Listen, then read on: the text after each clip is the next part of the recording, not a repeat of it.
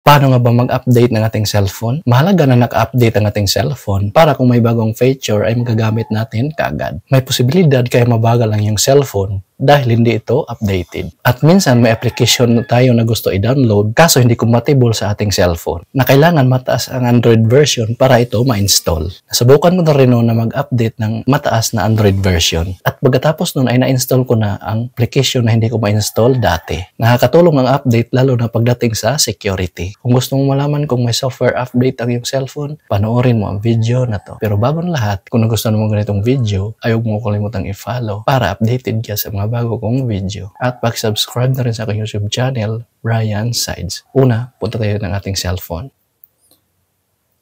Ayan, so una, kailangan natin pumunta sa settings ng ating cellphone. Then, pag nasa settings na kayo ng iyong cellphone, ay scroll up nyo lang. So, itong ginamit ko ay Samsung. So, so kung mapapansin niyo dito, meron nakalagay na software and update. Then, sa ibang cellphone, ang nakalagay sa inyo ay uh, system. So, click, pinutin niyo lang yung system. So, kunwari walang software update na nakalagay dito, ang gagawin niyo lang ay pinutin lang tong about phone. Ayan, then, pinutin lang tong software update. Ayan, nakalagay dito ay uh, software update. So, download and install last check March 7, 2024.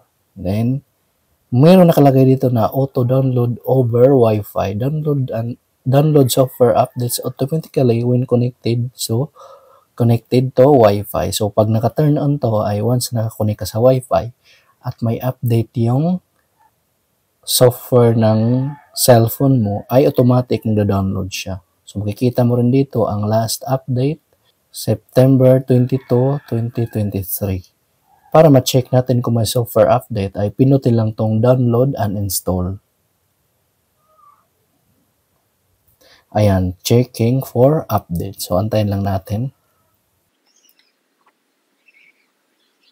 Ayan, so nakalagay dito ay your software is up to date. Software update information. So ibig sabihin walang new update ang Samsung ngayon. So kung may update yung uh, cellphone nyo, may nakalagay naman dito na update and download. So pinutin niyo lang yun para ma-install niyo yung bagong update ng iyong cellphone. Halimbawa na lang ng software update na na-update ko ay new Android version. Hindi sa unit ng cellphone kung kaya ba siya i-update sa new Android version. Kung may new update, halimbawa Android 9 sa inyo, pwede mag-update ng Android 10.